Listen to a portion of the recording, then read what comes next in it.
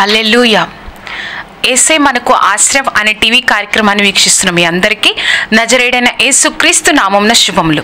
ఎలా ఉన్నాడండి? దేవుడు తన రెక్కల చాటున మనల్ని భద్రపరిచి మరొక దినాన్ని అనుగ్రహించిన దేవాది దేవునికి సమస్తమైన మహిమ ఘనత ప్రభావం కలుగును గాక.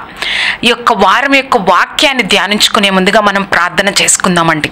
సర్వోన్నతుడ సర్వాధికారి పరిశుద్ధాత్మ దేవాయస్య నీ రెక్కల చాటున మమ్మల్ని భద్రపరిచి తండ్రేస మరొక వారాన్ని మాకు అనుగ్రహించిన దేవాది దేవా నీకు కోట్లాది వందనాలు. నీ కృప రెక్కల చాటున భద్రపరచవయ్యా. నీ కృపలో వర్ధిల్లింప చేసి తండ్రేస మరొకసారి మాతో మాట్లాడడానికి తండ్రేస మమ్మల్ని సిద్ధపరిచిన దేవా మమ్మల్ని ప్రభా నిలబెట్టిన దేవా నీకు సర్వాధికార సర్వ సమస్తమైన మహిమ ఘనత ప్రభావం కలుగును గాక ఆశ్చర్యకరుడా అద్భుతకరుడా ఇసయ ప్రభా నీ యొక్క వాక్యాన్ని మేము బోధించుచుండగా నా యొక్క మాటలు నా యొక్క తలంపులు అన్నిటినీ ఖాళీ చేసి తండ్రేసయ నువ్వే ప్రభా నీ యొక్క ఆలోచనలు నాలో ఉండాలి తండ్రేసయ నాతో మాతో మా అందరితో నువ్వు మాత్రమే మాట్లాడి మమ్మల్ని బలపరచండి సర్వశక్తి మంత్ర నీ కృప రెక్కల చాటున భద్రపరచండి.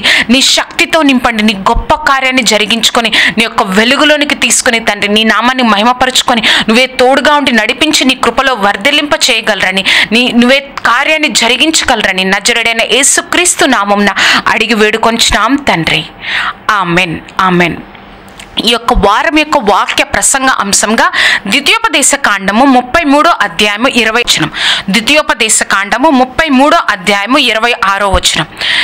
యశురోను దేవుని పోలిన వాడెవడునూ లేడు. ఆయన నీకు సహాయము చేయుటకు ఆకాశ వాహనుడై వచ్చును. మహోన్నతుడై మేఘ వాహనుడగును ఈ యొక్క వారం యొక్క వాక్య ప్రసంగ అంశం ఏమిటి అంటే దేవుడు ఎప్పుడూ మనకు అన్యాయము చేయరు. ఈ వారం యొక్క వాక్య ప్రసంగ అంశం ఏంటి అంటే దేవుడు ఎప్పుడు మనకు అన్యాయము చేయరు. ఈ వాక్యాన్ని వింటున్నప్పుడే ఈ మాట వింటున్నప్పుడే నీకు ఒక ఆలోచన వచ్చింది కదా? నేను నిజమైన దేవుడని ఈ యొక్క దేవుణ్ణి ఆశ్రయించాను. ఈయన గొప్ప దేవుడని ఆశ్రయించాను. ఎంతో ఎంతగానో ఈయన మీద ఆ యొక్క దేవుని మీద ఆధారపడిపోయాను. ఎంతగానో దేవుని మీద నమ్మకం ఉంచాను. కానీ ఇప్పుడు నేను వెళుతున్న ఈ కుటుంబ పరిస్థితి నాకు చాలా అర్థం కాని స్థితిలో ఉంది. ఎంతో కన్నీరుతో ఎంతో బాధతో ఉన్నాను. ఏమీ నాకు అర్థం కావట్లా. నిస్సహాయ స్థితిలో సహాయం లేని పరిస్థితిలో నేను ఉన్నాను. ఎందుకు ఈ విధంగా జరిగింది? ఎందుకు ఇలా ఉంది? నాకు దేవుడు అన్యాయం చేసేసారా దేవుడు నేను నమ్ముకున్నానే ఈయనే నిజమైన దేవుడని దేవుడి వైపు చూస్తా ఉన్నానే. కానీ నా కుటుంబంలో నేను కుటుంబ సభ్యుల్ని కోల్పోయాను. లేకపోతే నువ్వు ఏ స్థితిలో వెళ్తున్నావు అంటే కుటుంబంలో ఉన్న వాళ్ళందరికీ ఈ వైరస్ బారిన పడిపోయారేమో. కుటుంబ కుటుంబంలో ఉన్న వాళ్ళందరూ అనారోగ్యంతో ఉన్నారేమో. అయ్యో దేవుడు ఆపొచ్చు కదా. దేవుడు అన్యాయం చేసేసాడా ఎందుకు ఇంత గొప్ప దేవుడిని నేను ఆశ్రయించాను కదా? అయినా కూడా నా కుటుంబం ఎందుకు ఈ విధంగా ఈ యొక్క పరిస్థితి గుండా వెళ్ళాల్సి వస్తుంది అని నువ్వు క్వశ్చన్ మార్క్తో ఉన్నావేమో. నీలో ఆలోచనలతో ఉన్నావేమో. ఒక్కసారి దేవుడు నీకు నాకు జ్ఞాపకం చేస్తున్నాడు. ఏంటో తెలుసా? ఆయన నీకు సహాయం చేయుటకు ఆకాశ వాహనుడై వచ్చును. మహోన్నతుడై మేఘ వాహనుడగును ఏంటి పరిస్థితి? నాకు ఎవ్వరు సహాయం చేయలేని పరిస్థితి. నా కుటుంబ పరిస్థితి అలా అయిపోయింది. ఈ యొక్క వైరస్ వల్ల మరణం చూస్తున్నాను అనారోగ్యం చూస్తున్నాను. ఎందుకు ఈ విధంగా ఉంది అనుకుంటున్నావేమో? దేవుడు నిన్ను ఎప్పుడు అన్యాయం చేయడని చెప్తున్నాడు. నేను నిన్ను ఎవ్వరిని నేను అన్యాయం చేయను. ఆయన ఈ మాట చెప్తున్నారు కదా అండి మనతో? నేను నీకు అన్యాయము చేయనని అన్యాయము చేయనని చెప్తున్నారు కదా? అసలు ఏ అసలు ఏ ఒక మనిషి అన్యాయము చేయడు అని మనం ఎప్పుడు చెప్పగలం? చూస్తామండి ఆ మనిషి మనల్ని ఎంతగా ప్రేమిస్తున్నాడో ఆ మనిషి యొక్క స్వభావం తెలుసుకుంటే మనం చెప్పగలం. అతను తప్పుగా మాట్లాడాడు ఎప్పుడు అన్యాయంగా మాట్లాడాడు అన్యాయం ఎవరిని చేయడు అని. అలాగే ఇప్పుడు మొట్టమొదటిగా మనం ఏం నేర్చుకుందామంటే దేవుడు మనల్ని ఎంతగా ప్రేమిస్తున్నాడో మనం నేర్చుకుందాం. తరువాత తరువాత రెండో పాయింట్గా మనం ఏం నేర్చుకుందామంటే మనలో ఉన్న ప్రశ్నలు మనలో ఉన్న ఆలోచనలకి దేవుని వాక్యం ద్వారా ఎటువంటి సమాధానం దొరుకుతుందో చూద్దాం. మూడవదిగా దేవుడు మనల్ని ఎప్పుడు అన్యాయం చేయడని గుర్తు పెట్టుకుందాం. మొ- మన యొక్క వాక్య ప్రసంగ అంశం ఏమిటి అంటే ఈ దినాలలో ఇటువంటి భయంకరమైన దినాలలో ఇటువంటి రోగం గుండా మనం వెళ్తున్న దినాలలో మరణాల గుండా మనం వెళ్తున్న దినాల్లో మన మన మన యొక్క హృదయంలో ఒక ప్రశ్న ఉంటుంది. దేవుడు అన్యాయం చేశాడని. కానీ మరలా దేవుడు మనం జ్ఞాపకం చేస్తున్నాడు. దేవుడు ఎవరిని అన్యాయము చేయడు అని మ- నీకు నాకు జ్ఞాపకం చేస్తున్నాడు. మన యొక్క వాక్య ప్రసంగ అంశము దేవుడు ఎప్పుడు మనల్ని అన్యాయము చేయరు. మొట్టమొదటిగా అన్యాయము చేయరని చెప్తున్నారు కదా. ఆయన యొక్క ప్రేమ ఎటువంటిదో ముందు తెలుసుకుంటే మనల్ని అన్యాయం చేస్తారో చేయరో మనకు అర్థమవుతుందండి. మొట్టమొదటి పాయింట్ ఏంటి అంటే దేవుడు నిన్ను నన్ను ఎంతగా ప్రేమించాడో మనం ఒక్కసారి జ్ఞాపకం చేసుకుందామండి దేవుడు నిన్ను నన్ను మనల్ని ఎంతగా ప్రేమించాడో ఒక్కసారి జ్ఞాపకం చేసుకుందాం. రోమా పత్రిక ఐదో అధ్యాయము ఎనిమిదో వచనం. రోమా పత్రిక ఐదో అధ్యాయము ఎనిమిదో వచనం. అయితే దేవుడు మన మన ఎడల తన ప్రేమను వెల్లడిపరచుచున్నాడు. ఎట్లనగా మనం ఇంకను పాపులమై ఉండగానే క్రీస్తు మన కొరకు చనిపోయెను. అక్కడ చూసారా అండి? మనం ఇంకను పాపులమై ఉండగానే క్రీస్తు మన కొరకు చనిపోయాను. మనము పాపంలో ఉన్నామని మనల్ని మనము పాపంలో ఉన్నాము అంటే ఆయనకి ఇష్టం లేని బ్రతుకు బ్రతుకుతున్నప్పటికీ ఆయనకి ఇష్టం లేని బ్రతుకులో మనం ఉన్నప్పటికీ ఆ పాపంలో మనం కొట్టుమిట్టాడుతున్నప్పటికీ పాపంలో మనం మునిగి తేలుతున్నప్పటికీ కూడా మనల్ని ప్రేమించి మనం ఆయన ప్రేమించలేదండి ముందు. మనల్ని దేవుడే మనల్ని ప్రేమించి మన కోసము ఏంటి అంటే ఏమో ఏదో వచ్చేసి బయటకు తీసుకొచ్చేస్తే పాపంలోంచి నేను బయటకు తీసుకొస్తాను. ఆ బిడ్డ సరిగ్గా ఉంటుంది అనుకోలేదు. ఏమనుకున్నాడంటే నా చేతిలో నా చేతితో నేను సృష్టించిన సృష్టి అది. నా బిడ్డ నా కుమారుడు నా కుమార్తె. కానీ ఆ కుమార్తె నా సొత్తైన నా కుమారుడు నా సొత్తైన నా కుమార్తె ఈ విధంగా పాపంలో ఉంది. వారిని ఎలా అయినా రక్షించాలి అని ఏదో ఒక ఒక సృష్టి అంతటిలో అధికారం కలిగిన దేవుడు ఏదో ఒక్కొక్కరికి ఒక్కొక్క ఒక్కొక్క వెల చెల్లించి ఒక్కొక్క సృష్టిని ఇచ్చి ఒక్కొక్క వెల చెల్లించి మనల్ని పాపంలోంచి బయటకు తీసుకురాలేదండి. ఆయన యొక్క పరిశుద్ధమైన రక్తాన్ని చిందించి ఆయన ప్రాణాన్ని ప్రాణ ప్రాణాన్ని పణంగా పెట్టేసి మనల్ని ఆ పాపంలో నుంచి బయటకు తీసుకొచ్చాడు. ఆ పాపంలో నుంచి విడుదల చేశారండి. అంత గొప్ప ప్రేమను చూపించాడండి దేవుడు. అంతేకాకుండా నా కుమార్తెలు నా కుమారులు ఏది వారికి పాపం నుండి విడిపించలేదని తెలుసు కాబట్టి ఆయన పరిశుద్ధమైన రక్తం మాత్రమే వారి యొక్క కుమార్తెలుగా కుమార్తెలుగా ఆయన్ని బయటకు మనల్ని బయటకు తీసుకురాగలదని ఆయన తెలుసుకొని పూర్తిగా ఆయనే ఈ లోకానికి వచ్చి నీ కోసం నా కోసం ఒక వాక్ ఒక దైవజనుడు చెప్తారండి. ఏమని చెప్తాడో తెలుసా? ఆయన సిలువులో వేలాడుతున్నప్పుడు అప్పుడు కూడా దేవుడు మనసులో ఆ హృదయంలో టెంపుల్లో నేనే ఉన్నాను కాబట్టి దేవుడు ఆ శిలువ మరణం వరకు వెళ్ళాడని. ఆ మరణం కంటే ముందుగా దేవుడు ఎంత బాధపడ్డాడో తెలుసా అండి? ముళ్ళ కిరీటాన్ని పెట్టించుకున్నాడు. అనవసరంగా దేవుడు మీద ఉమ్ము ఊసి ఎగతాళి చేశారండి. అంతేకాకుండా ఒకటి తక్కువ నలభై కొరడా దెబ్బలు కొట్టించుకున్నారు. ఇవన్నీ ఎవరి కోసం అండి? పాపమే చేయలేదు దేవుడు. ఏ తప్పు చేయలేదు. ఏ తప్పు లేదు తనలో. అయినా కూడా ఎందుకు చేశాడో తెలుసా? నా బిడ్డ పాపం కోసం నేను ఈ విధంగా వెళ్ళకపోతే ఈ విధంగా శిలువ మరణం పొందకపోతే ఎప్పటికీ వారు పాపంలోనే ఉండిపోతారు. ఎప్పటికీ వారు అక్కడే ఉండిపోతారు కాబట్టి నా యొక్క పరిశుద్ధ రక్తాన్ని చిందించి నేను వారిని బయటకు తీసుకురావాలి. నేను వారిని రక్షించాలి. నేను వారిని కాపాడాలి. ఆ యొక్క నరకం నుంచి నేను వారిని బయటకు తీసుకురావాలని దేవుడు ఆశించాడు కాబట్టి మనం ఇంకను పాపులమై ఉండగానే క్రీస్తు మన కొరకు చనిపోయాడండి. అంత గొప్ప ప్రేమను ఏసే మన మీద చూపించారు. అంత గొప్ప గొప్ప ప్రేమను ఏసే మన మీద చూపించారు. ఇప్పుడు అర్థమైందండి ఏసే ప్రేమ? ఒకసారి నేను కొన్ని స- ఒక రెండు సంవత్సరాల క్రితము నా యొక్క బాధలు చూసి నా యొక్క ప్రా నా యొక్క సమస్యలను చూసి నేను బాగా ఏడవడం మొదలు పెట్టాను దేవుని సన్నిధిలో. చాలా ఏడుస్తూ ఉన్నాను. ప్రభా ఎందుకు ప్రభా నాకు ఇటువంటి జీవితాన్ని ఇచ్చావు? ఎందుకు ప్రభా ఇన్ని కష్టాలు? ఎందుకు తండ్రి వేసా ఎందుకు నేను ఈ వయసులో ఇంతగా బాధపడాలి? అని ఏడుస్తూ ఉన్నప్పుడు దేవుడు ఒక ఆ యొక్క త్రాసును చూపించాడండి. మనం చూసాం కదా మనము కాటాను చూపించాడు. ఏంటంటే సు రైతు బజార్లో కూరగాయలు కాటా వేస్తూ ఉంటాడు. ఒక సైడు కేజీ రాయి అర కేజీ రాయి పెట్టి ఇంకొక సైడ్ కూరగాయలు వేస్తూ ఉంటాడు. అటువంటి త్రాసును దేవుడు నాకు చూపించాడు. చూపించిన తర్వాత నేను ఆ దర్శనంలో చూస్తూ ఉన్నాను. ఏంటి ప్రభా అని చూస్తున్నప్పుడు ఒక మాట ఒక స్వరము నాకు వినిపిస్తూ ఉంది. ఏం వినిపిస్తూ ఉందంటే ఒకవైపు నువ్వు నా యొక్క సిలువ శ్రమలు నేను నిన్ను ఎంతగా ప్రేమించి ఆ యొక్క శ్రమలు పడ్డాను నేను ఎంతగా నిన్ను ప్రేమించాను ఆ యొక్క ఆ యొక్క సిలువ శ్రమలను నువ్వు ఒక్కసారి ఆ ఒక్క- ఆ వైపు పెట్టుకో. ఇంకొక వైపు నువ్వేం పెడతావో తెలుసా? నీకొచ్చిన కష్టాలు నీకొచ్చిన బాధలు నీ కన్నీరంతా ఒక వైపు పెట్టు అని దేవుడు చెప్పాడు. పెట్టిన తర్వాత మరలా ఇంకొక ప్రశ్న వేశాడండి దేవుడు. ఏం ప్రశ్న వేశాడో తెలుసా? ఏది బరువుగా ఉంది? నీ యొక్క బాధలు బరువుగా ఉన్నాయా? నేను నిన్ను ప్రేమించిన ప్రేమ బరువుగా ఉందా? ఏది నీకు బరువుగా ఉంది? ఒక్కసారి ఆలోచించని చెప్పినప్పుడు నేను వెంటనే ఆలోచించానండి. ఎంత ప్రేమ చూపించాడు దేవుడు మన ఎందు ఈ లోకంలో నీకు నాకు ప్రేమ వారు ఎవ్వరూ లేరేమో. ఆ యొక్క కోల్పోయిన వారికన్నా మన కుటుంబంలో కోల్పోయిన వారికన్నా మనల్ని ఎక్కువగా ప్రేమించే వారు ఎవ్వరు లేరేమో. కానీ గుర్తుపెట్టుకో అంతకంటే ముందుగా దేవుడు నిన్ను నన్ను ఇంకా గొప్ప ప్రేమతో ప్రేమించాడండి.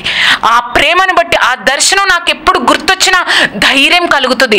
ఈ లోకంలో నన్ను ప్రేమించాల్సిన వారు లేకపోయినా నన్ను ప్రేమించే దేవుడు నా పక్కనే ఉండి ప్రతి సెకండ్ నన్ను నిలబెడుతున్నాడు అన్న ధైర్యము అన్న విశ్వాసము నాకుందండి. అన్న ధైర్యము మనకు ఉండాలండి అన్న విశ్వాసము మనకు ఉండాలి ఎందుకంటే నిన్ను మనము పాపులమై ఉండగానే దేవుడు మన కోసం చనిపోయారు. దేవుడు మన కోసం చనిపోయారు. ఆయన ప్రేమ ఇప్పుడు అర్థమైందండి. అంత ప్రేమతో ప్రేమించిన ఏసయ్య అంతగా తన ప్రాణాన్ని మన కోసం పెట్టిన ఏసయ్య అన్యాయం చేసే దేవుడా అండి మనకి? మనకు అన్యాయం చేస్తాడండి మన శ్రమల ద్వారా మన కుటుంబ సభ్యులు చనిపోవడం ద్వారా మనకు అన్యాయం చేస్తాడండి ఒక్కసారి ఆలోచన ఆలోచించండి. మన యొక్క వాక్య ప్రసంగ అంశం దేవుడు ఎప్పుడూ మనల్ని అన్యాయము చేయరు మొట్టమొదటిగా ఆయన యొక్క ప్రేమను మనం తెలుసుకుందాం. రెండవదిగా ఏంటి అంటే మన మన హృదయంలో వచ్చే ఆలోచనలు ప్రశ్నలు అన్నిటికీ దేవుని వాక్యం ద్వారా సమాధానం. మనకి ఎంతో మందికి ఒక ప్ర- ఒక ఎన్నో మన హృదయంలో ఎన్నో ఆలోచనలు వస్తాయి.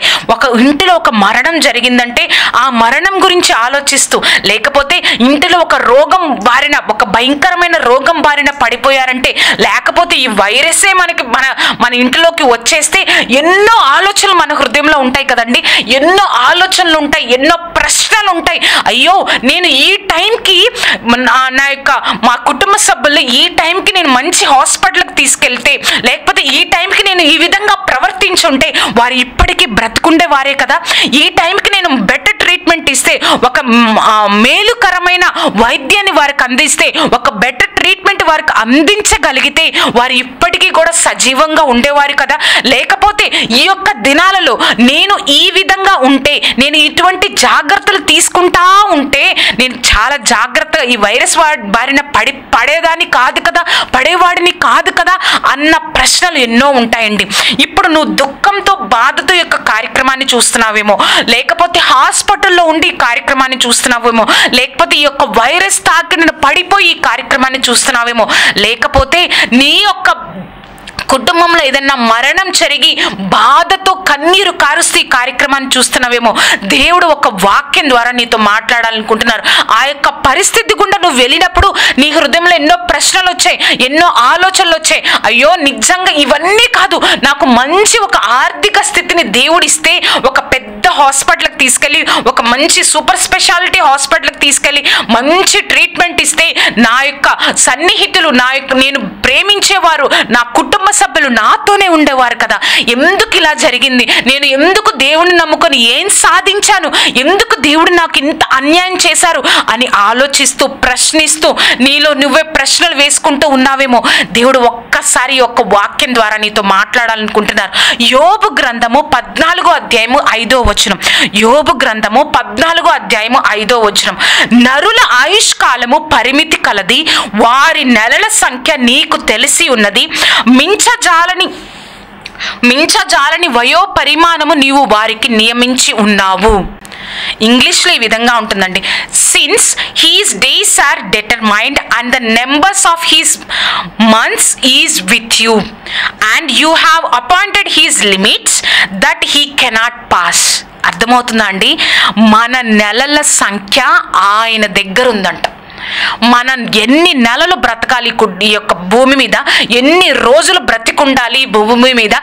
ప్రతిదీ ఆయన దగ్గర ఉంది ఆయన చేతిలో ఉంది. ఆయన దగ్గర ఉంది నువ్వు నేను అనుకుంటుండొచ్చు ఇంత బెటర్గా ట్రీట్మెంట్ ఇప్పిస్తే నాకు ఇంత గొప్పగా ఆర్థిక స్థితి ఉంటే నేను ఈ వీళ్ళకి ఫోన్ చేసి అడిగితే వాళ్ళకి ఫోన్ చేసి అడిగితే ఆదుకునే వాళ్ళేమో?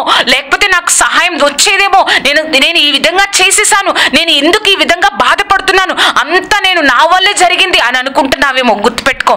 నువ్వు పెద్ద నువ్వు ఒక స్పెషాలిటీ సూపర్ స్పెషాలిటీ హాస్పిటల్కి తీసుకెళ్ళినా నువ్వు ఒక చిన్న చిన్న హాస్పిటల్కి తీసుకెళ్ళినా దేవుడి చిత్తము దేవుడి నిర్ణయం అలా ఉంటే అది అలానే జరుగుతుందండి. ఆ వ్యక్తి ఆ వ్యక్తి రోజులు అన్నీ కూడా ఆ దేవుడి దగ్గర ఉన్నాయంట. ఉంటుంది. వారి నెలల సంఖ్య నీకు తెలిసి ఉన్నది. ఇంగ్లీష్లో ఇలా ఉంటుందండి. The numbers of his months is with you ఆయన యొక్క నెలలన్నిటిని ఎన్ని నెలలు ఉండాలి? భూమి మీద ఎన్ని సంవత్సరాలు ఎన్ని రోజులు ఉండాలో ప్రతిదీ నీ దగ్గర ఉంది. నువ్వు ఎంత ఆ టైంలో నువ్వు ఎంత ప్రయాసపడినా గోజాడినా ఏడ్చినా అది జరగాల్సింది జరిగిపోతుందండి. అది ఆయనకి సమస్తం తెలుసు. నీ చేతిలో కాదు ఉంది. సమస్తం దేవుడి చేతిలో ఉందండి. నీ ప్రశ్నలు నువ్వు నువ్వు యొక్క వ్యాధి గుండా వెళ్తున్నావు. నీ కుటుంబంలో మరణం జరిగిందని బాధపడుతున్నావు. ఒక్కసారి జ్ఞాపకం చేసుకో. అది అంతా ఆయనకి తెలుసు. నువ్వు ఎంత ప్రయాసపడినా ఎంతగా నువ్వు ఏడ్చినా ఎంతగా నువ్వు ఆలోచించినా ఎంతగా దుఃఖపడుతూ ఉన్నా గుర్తుపెట్టుకో. అదంతా దేవుడి చేతిలో ఉంది. కాబట్టి నువ్వు ఏమి చేయలేదే నేనేమి చేయలేదే దేవుడు నాకు అన్యాయం చేశాడే అని ఇంకా ఇంకా ఇంకా నువ్వు ఈ బాధలో దుఃఖంలో దేవుడికి దూరం అయిపోతే నీకు నువ్వే ఇంకా ఇంకా బాధలో దుఃఖాల్లో వెళ్ళిపోతావండి. నిరుత్సాహ స్థితిలోకి వెళ్ళిపోతాం. సహాయం లేని అవిశ్వాసంలోనికి వెళ్ళిపోతాం గుర్తుపెట్టుకోండి మనకేదన్నా ప్రశ్న దొరికితే మనకేదన్నా ఆత్మీయ జీవితంలో ఒక ప్రశ్న అనేది వస్తే మనం అటు ఇటు ఇటు అటు కాదండి వెళ్ళాల్సింది. దేవుని సన్నిధిలోనే అడగాలి. ప్రభా నేను ఇంతగా నిన్ను నమ్మాను కదయ్యా. ఇంతగా తండ్రి వేసే నీ ఎందు విశ్వాసం ఉంచిన కుటుంబం కదయ్యా మాది. ఇంతగా నీ కోసం నిలబడిన కుటుంబం కదా ప్రభా. ఎందుకు నాకు ఈ జీవితంలో జరిగింది? నీ చిత్తం ఏంటి ప్రభా? నీ యొక్క ప్రణాళిక ఏంటి తండ్రి? అని నువ్వు అడగగలిగితే ఎక్కడో ఎక్కడో దొరకదండి మనకి ఆ యొక్క సమాధానం. దేవుని సన్నిధిలో మాత్రమే దొరుకుతుంది. దేవుని సన్నిధిలో దొరు మాత్రమే దొరుకుతుంది. మనకు వచ్చే ఆత్మీయంగా వచ్చే ప్రతి ఒక్క ప్రశ్నకు సమాధానం ఆత్మీయ జీవితం ద్వారానే మనకి ఆత్మీయంగా దేవుడితో సహవాసం చేస్తున్నప్పుడు మాత్రమే దొరుకుతుంది. కానీ వారిని అడిగితే వీరిని అడిగితే ఎక్కడో ఎక్కడో దొరకదండి. గుర్తుపెట్టుకోవాలి. మనం ఈ యొక్క కష్టాలు బాధలు మరణాలు చూసి దేవుడికి దూరమైపోతే మనం ఇంకా ఇంకా బాధల్లో కష్టాల్లో వెళ్ళిపోతామండి. దేవుడు ఎందుండు? దేవుడు ఎవ్వరికి అన్యాయం చేయడు. నీ ఆ యొక్క కుటుంబంలో ఆ యొక్క వ్యాధి వచ్చిందా మరణం వచ్చిందా లేకపోతే ఏదన్నా బాధతో ఉన్నావా? గుర్తుపెట్టుకో ఆయన చిత్తం ఏదో ఉంది కాబట్టి దేవుడికి తెలియకుండా ఏది జరగదని దేవుడు వాక్యం సెలవిస్తుంది కాబట్టి నువ్వు నీ చేతిలో ఏమీ లేదని సమస్తం ఆయన చేతిలో ఉందని నువ్వు ఆయన వైపు చూడగలిగితే దేవుడు తప్పకుండా నిన్ను ఆశీర్వదిస్తాడండి. నిన్ను సంతోషంతో సమాధానంతో నింపగలుగుతాడు. ఆయన వైపు చూడు. మన యొక్క వాక్య ప్రసంగ అంశం ఏంటి అంటే దేవుడు ఎప్పుడు మనల్ని అన్యాయము చేయడు. మన యొక్క వాక్య ప్రసంగ అంశం ఏంటి అంటే దేవుడు ఎప్పుడు మనలను అన్యాయము చేయడు. మొట్టమొదటిగా ఆయన ప్రేమ ఎటువంటిదో మనం తెలుసుకుందాం. ఆయన మన మీద చూపించే ప్రేమ ఎటువంటిదో మనం తెలుసుకుందాం. రెండవదిగా మన హృదయంలో వచ్చే ఆలోచనలు సమాధానాలకు దేవుని వాక్యం ద్వారా సమాధానాన్ని తెలుసుకుందాం. మూడవదిగా దేవుడు ఎన్నడూ అన్యాయం మనల్ని అన్యాయం చేయరు దేవుడు మనల్ని ఎప్పుడూ అన్యాయము చేయరు మనం అనుకుంటాం కదా నా కుటుంబానికే ఎందుకు ఈ పరిస్థితి రావాలి? నాకే ఈ స్థితి గుండా నేను ఎందుకు వెళ్ళాలి? ఎందుకు నేను ఇంత బాధ భరించాలి? అందరూ బాగున్నారు కదా.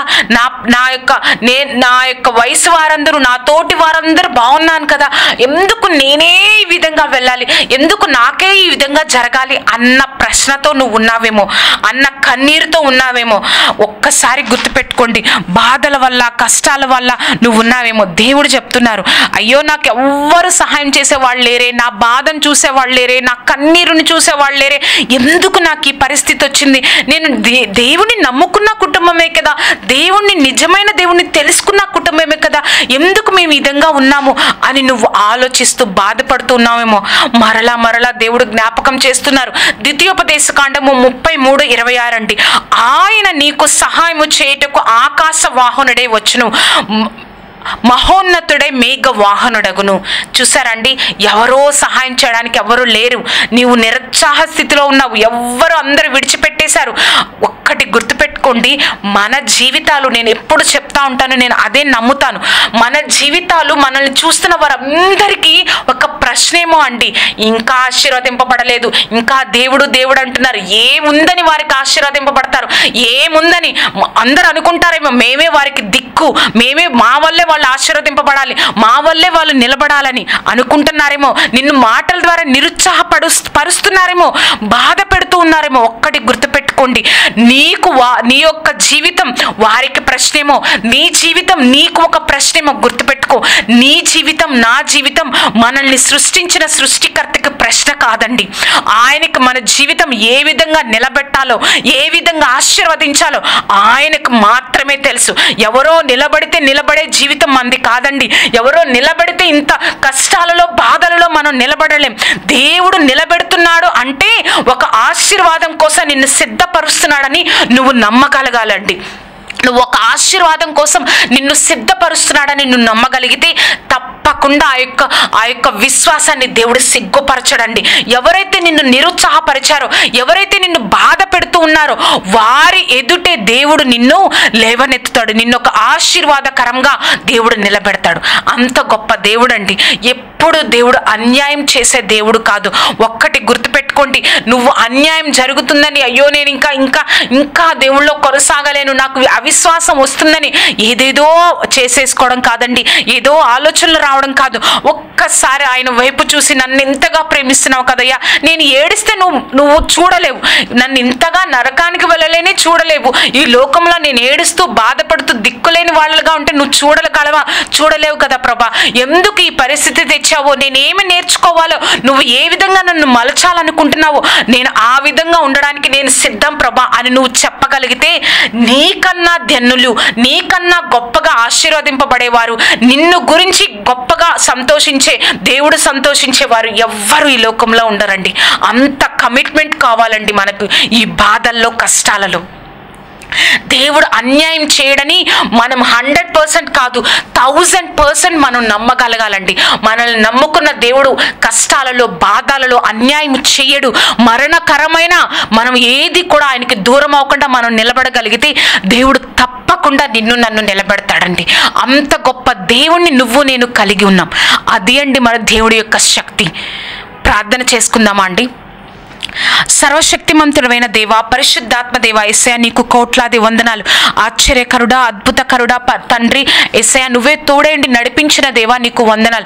పరిశుద్ధాత్మ దేవ మాతో మాట్లాడిన తండ్రి వందనాలు. నువ్వు ఎవ్వరిని కూడా ప్రభా ఈ యొక్క మేము చూస్తున్న పరిస్థితుల్లో కన్నీరు బాధలు ప్రభా చూసి మేము భయపడుతున్నామేమో. మా హృదయంలో ఒక విశ్వాసం ఉండాలయ్యా. ప్రభా మేము దేవుడు మాకు అన్యాయం జరిగించాడు. మమ్మల్ని దేవుడు ఎంతో ప్రేమిస్తున్నాడు. లేవనెత్తుతాడు నిలబడతాడు అన్న ధైర్యంతో మేము నిలబడడానికి మాకు సహాయం దయచేయండి. నువ్వే తోడుగా ఉండి నడిపించి సర్వశక్తి మంత్ర నీ కృపా కాపుదల దయచేసి ప్రభు యొక్క కార్యక్రమాన్ని ఎవరైతే చూసి ఉన్నారో వారిని ధైర్యపరచండి అయ్యా. వారికి ఉన్న ప్రశ్నలన్నిటికీ సమాధానం వాక్యం ద్వారా దయచేసిన దేవా నీకు వందనాలు. నువ్వు తోడే ఉండి నడిపించి నీలో ఇంకా వారు అంటగట్టబడడానికి నీ గొప్ప గొప్ప నీ గొప్ప ప్రణాళిక వారి కుటుంబంలో నెరవేర్చుకొని తండ్రి ఎంతో అనేక మందికి ఆశీర్వాదకరంగా వారిని చేసి వారి యొక్క దుఃఖానికి వారి యొక్క కన్నీటికి ప్రతిఫలాన్ని నువ్వు దయచేస్తున్న విధానాన్ని బట్టి వందనాలు. నీ కృపలో వర్ధిల్లింప చేస్తున్న విధానాన్ని బట్టి వందనాలు. నువ్వే తోడేంటి నడిపించి నీ కృపలో వర్ధిల్లింప చేసి నీ నామాన్ని మహిమపరచుకోనగలరని నజరేడైన యేసుక్రీస్తు నామంన అడిగి వేడుకొంచున్నాం తండ్రి. Amen amen amen. చూశారు కదా అండి? విన్నారు కదా? దేవుడు మన దేవుడు ఎవరిని కూడా అన్యాయం చేయడండి. అన్యాయము చేయడు. ఆయన వైపు మాత్రమే మనం చూస్తూ ఆయనతో ఆయనలో ప్రతిరోజు ఆయనలో శక్తి శక్తిని పొందుకుంటూ ధైర్యాన్ని పొందుకుంటూ ఆయన గొప్ప ప్రణాళికను మనం ఒక భాగమని విశ్వసించి ఆయన ఎట్టు చూపిస్తే ఆ దారిలో మనం వెళ్తే మనం ఆశీర్వదింపబడమే కాదండి. అనేక మందికి మనం ఒక ఆశీర్వాదకరంగా ఉంటాం. అటువంటి గొప్ప జీవితాన్ని దేవుడు మనకిచ్చును గాక. ఈ యొక్క వాక్యాన్ని మీకు చూసిన మీ వీక్షించిన మీ అందరికీ నజరేడైన యేసుక్రీస్తు నామం శుభములు. ఈ యొక్క వా కార్యక్రమం మీకు దీవెనకరంగా ఉన్నట్లయితే మీ యొక్క స్నేహితులకు బంధువులకు పరిచయం చేయండి. నా గురించి మీరు ప్రార్థన చేయండి. దేవుడు మిమ్మల్ని దీవించును గాక ఆమెన్.